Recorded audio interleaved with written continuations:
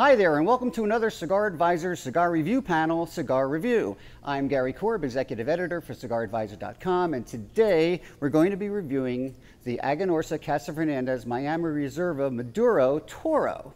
Now, unfortunately, Fred Lunt and John Pullo couldn't be with us today because John is coaching Fred for a Big Wheels Derby this weekend. So, anyway, let's meet our panel for today. He worked his way through college reading bedtime stories to Kim Jong un.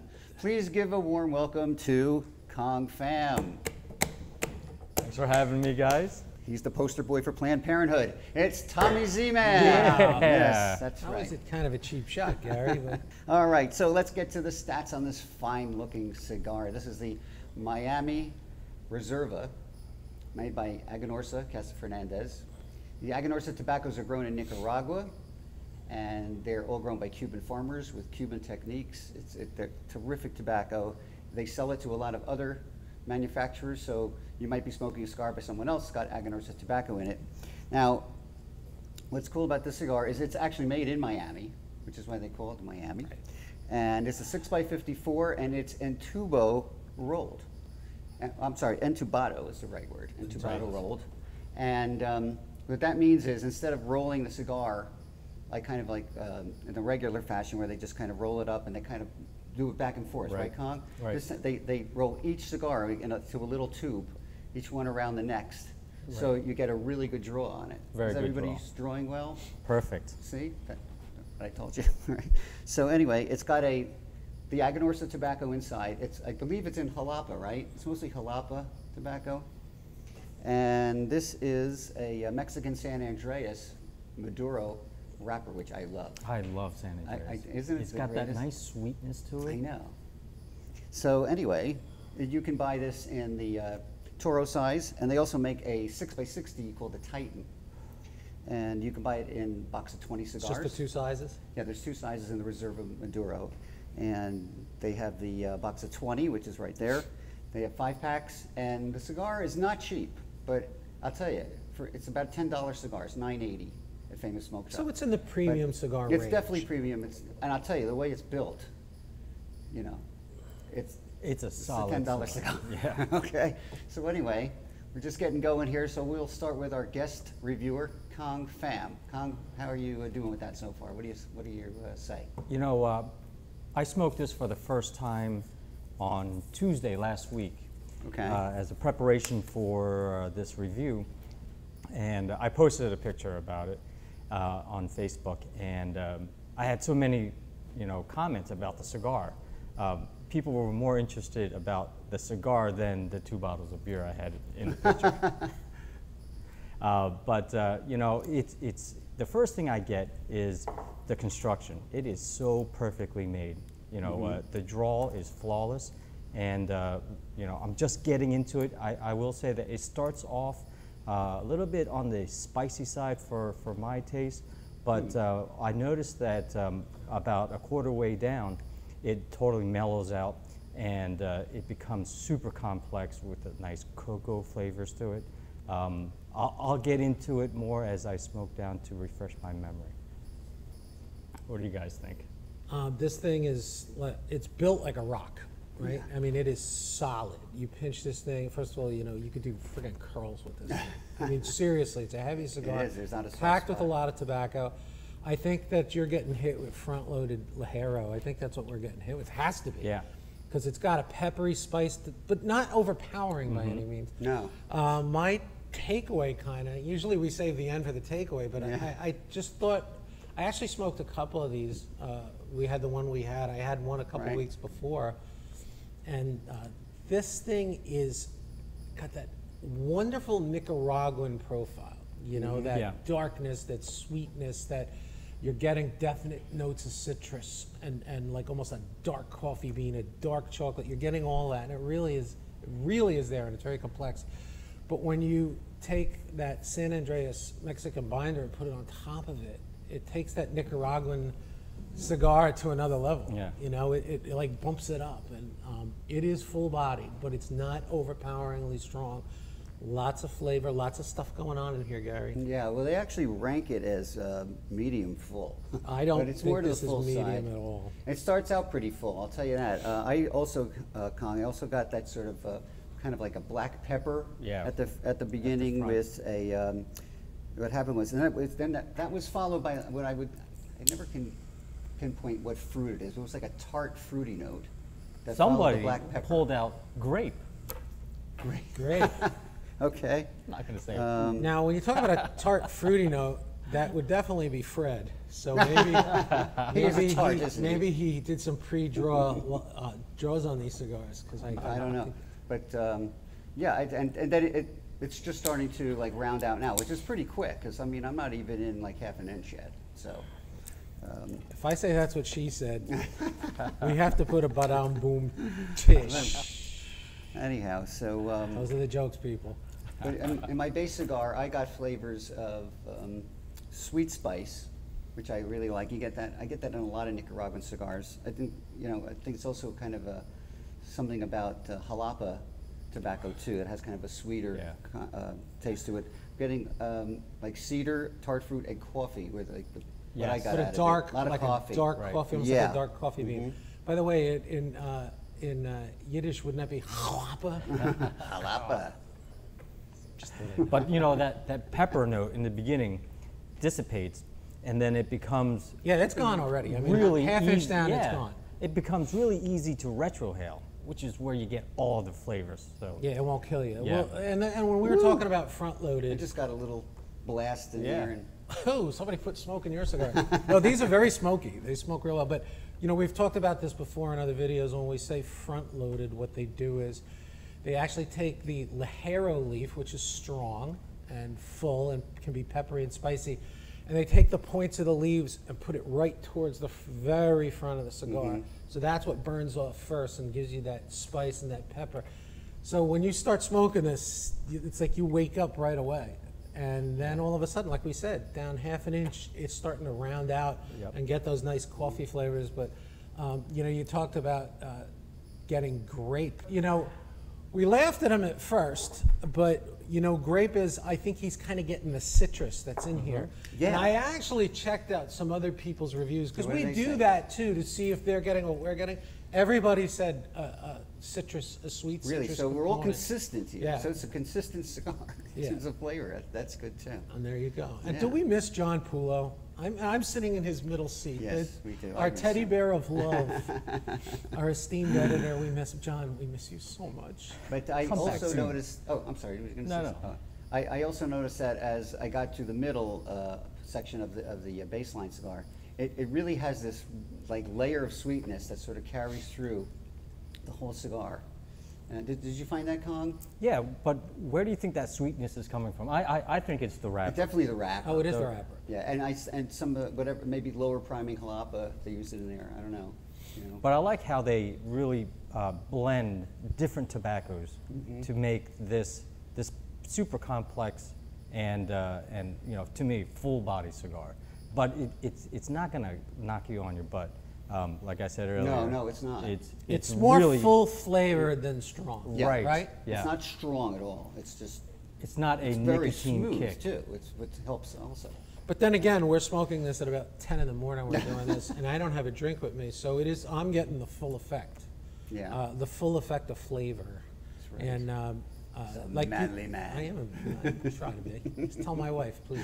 but like you said, once it starts going down to a third and then a half, you're seeing different changes in the flavor profile. Actually, even in the strength of the cigar.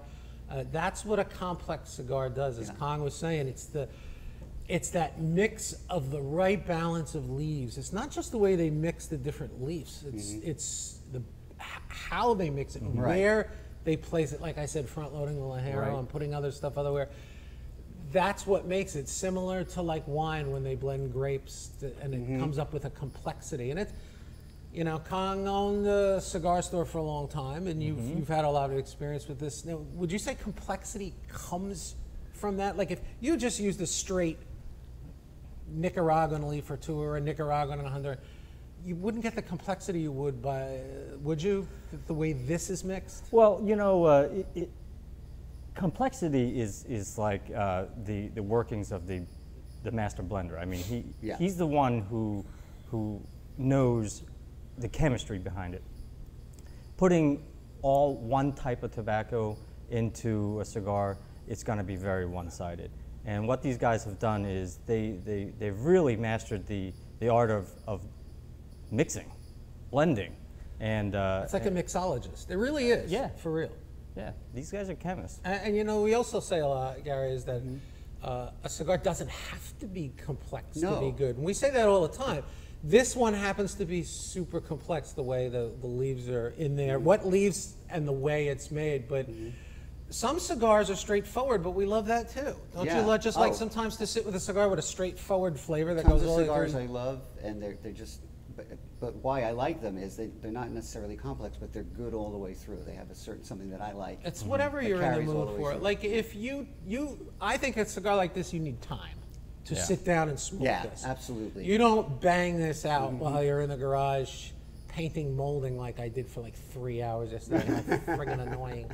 Um, you don't smoke a cigar. Like, actually, I smoked a cigar while doing that, but it was a more of a straightforward cigar. Yeah. But if you want to sit down at the end of the day and have a great cup of coffee or a port wine with this would be amazing. Yeah, of that would be course, uh, good. Or a I rum. just bought myself a bottle of Elijah Craig bourbon, and I'm, the, the, the flavor note. That's what I had with this. Okay, And that, that? That Elijah Craig huh? bourbon um, is got almost there's almost like butterscotch and caramel kind of that's Yeah. velvety. And when you mix it with something like this, holy You know, a, a, also a complex cigar uh, makes it a lot easier to pair. You can pair with a lot of That's things. right. It's true. yeah, Right? It's true. It's going very- great with coffee right now. Yeah. But port will be Well, I like coffee with just about every. I, I have coffee most of the time. Um, but I, this would be excellent with a, a dark aged rum. Well, like you said, I think with everything, yeah, you we've could- already mentioned three I- I different think- things. I yeah. think you're right about that. Very complex cigars can almost go with any kind of whiskey. Right. This would pair great with a Scotch. You know, actually, I had one with that Elijah Craig bourbon, and I had my other one with a Balvenie Doublewood, which is a 12-year-old, half aged in oak, six years aged in sherry casks, and uh, that sherry sweetness went great with this. But you could even a really nice craft beer, Yeah. something like a uh, uh, Chimay, which I love, which Oh, has a yeah. major fruit notes of, of dark, dark plums and things like that. That's you're right. Complex cigars go great with different types Right. of drinks that are a little more complex. But what I also like about this cigar is it has very dense smoke that's also kind of velvety, has a nice, um, it feels good, you know, when you, when you uh, take it in, Did- into your palate. So you you're know, saying it's this smoke is like Fred's hair? Yeah. dense. yeah. Velvety. Very dense. velvety and dense. I don't know where this went into left field fast. It Yeah, that- escalated. And they got a nice ash on there too. Oh, so do you, Gary. Oh, thank you. But anyway, So what do you say, Gary? I, I'm saying this is really, really fine, and um, I would definitely want some of these in my humidor. No, and I'm not saying it because we're here and we're trying to be nice guys. I mean, this is. I, I like this whole company, Aganorsa. I, I think, like yeah. just about everything they do. They make just about all flavor, like not flavors, but, uh, but profile for, for any smoker. And uh, the construction on them are perfect. Mm-hmm. Uh, this one in particular has got to be my top five for this year. Really? So far, yeah. Yeah, I mean, I wouldn't be surprised. Yeah, I mean, I'd put it up there too. Well, you know, you, if you if you have in your humidor stuff like uh, Maduro, 1926 Padron, if you have maybe Liga T52s, uh, and other even like a RoMa Craft, like the Whiskey Rebellion and stuff, those fuller, sweeter cigars, I'd get this and put it right alongside that in your Oh, yeah, easily. Yeah. And it's also the way they, uh, they age the tobacco. These guys are, they're all from Cuba, and they use the traditional Cuban methods. And the cigar doesn't taste Cuban per se, but when you use those old-fashioned techniques, uh, it just seems to come out right. These guys really know what they're doing too. I mean, th- th- now were these, do you, are these um, tercio aged tobaccos? Do you know if they, I- they do I that? I don't or know not? for sure. I Explain thought what somebody that said is. that they do that. What, what they do is, uh, well, I'm not sure if they do this, but I, I thought someone said that, that Aganorsa does this. They take the tobacco and they, instead of aging it in a, what, a canvas bale, I guess usually, Mm-hmm. they put it in a, um, a bale made out of palm leaves. Yep. and it does something to the tobacco. It, it kind of keeps a certain, I guess, amount of moisture in there, and, uh, and they, the tobaccos marry better over time, and, and it's just amazing. But I don't really care how they do it. it's just it's good. And uh, and this is also one of those cigars. Remember when Rafael was here, and and Rafael Nodal, and he said, you know, before you light a cigar, you must admire the cigar. Just look, at it, it's like a fine, like a woman. And you know. he does. And- you sit with Rafael Nodal, seriously, because we had him in here a few Before weeks ago, and he's been here many times, but he stares at the cigar, and when he's smoking it, he does. I sat right next to him. and he looks at it, and he and then he goes like this, and get, He he to get that and then he and then he takes And is puff, and he looks at the smoke. That's a guy who's very passionate about it. Yeah. But so.